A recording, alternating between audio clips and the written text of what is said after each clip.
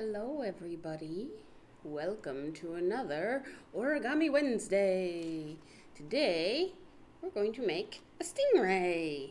I think it looks pretty cute. He's pretty cute. All right, so start with our paper.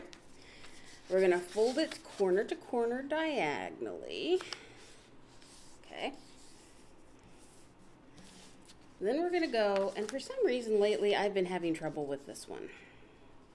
I think because I want it to be perfect and there's no such thing as perfection. So it irritates me, but that's okay because it's still good. And we're still going to end up with a very cute stingray at the end. Whether it's absolutely perfect or not. Okay, so we're going to make our kite shape or our ice cream cone shape. Okay, I'm going to fold this point down.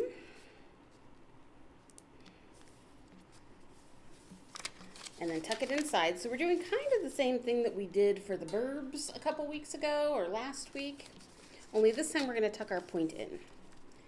I'm going to fold this edge to the center, so I'm going from being an ice cream cone to being a kite. Give that a nice sharp crease. Oops. And make that a kite, okay. And then I'm going to take this and I'm going to flip this inside out. I like doing these. I like it when we get to flip things inside out. I feel like we're hiding secret treasures. Okay. So now we have little flippy guys, which we're going to work with in a minute. But first, we're just going to be happy that we have this nice little kite shape. Then I'm going to fold this so that I'm folding it up to this point in here. Okay, so it's kind of where everything is converging, so it's a really easy point to find. But I'm going to flip it to be sure that he stays straight.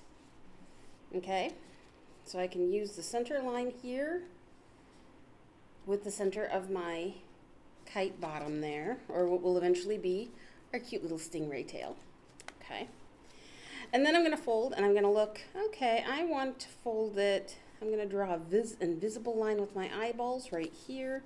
So it's roughly in line or maybe even a little bit below these corners. Okay. Then I'm going to fold. This is the tricky bit. There is one tricky bit and this is it. So I'm going to fold this edge over to the center. Okay which means this is going to get a little wonky over here, but that's okay. We're just going to let it be what it's going to be. Okay?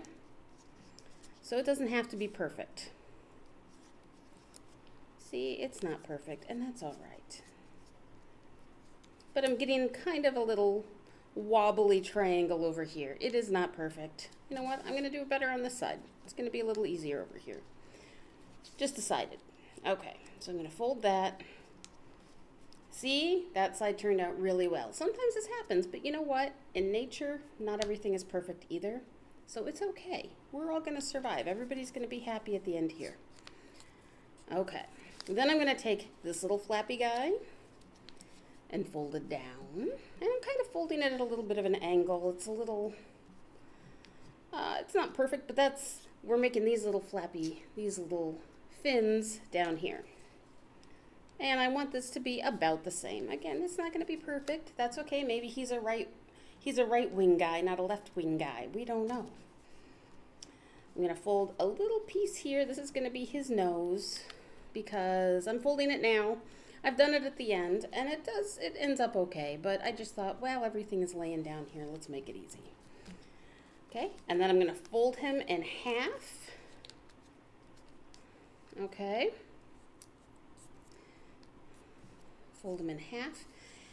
And then this is hard because I'm not going to do like a big hard fold. It looks like I am, but that's because there are like seven layers of paper here, okay? I just want to fold it enough that then I can give his body some shape, okay? So this part gets opened up and squished down. The wings get squished out a little bit flatter.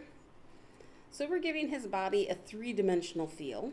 So when he lays down, and then I'm going to take his tail. And you know you do this with scissors with ribbons. and it makes the ribbons all curly. Well, if you do it with your fingernail on paper, it causes a curve, and then you can come back and we'll give him a little S-curve tail, and he is ready to swim in your ocean, or because it is summer camp, he's going to swim through your dreams and give you sweet dreams. And that is how we're going to make an origami stingray. He's so cute. All right, everybody, have a great week. We will see you next week for another Origami Wednesday. Have a good one.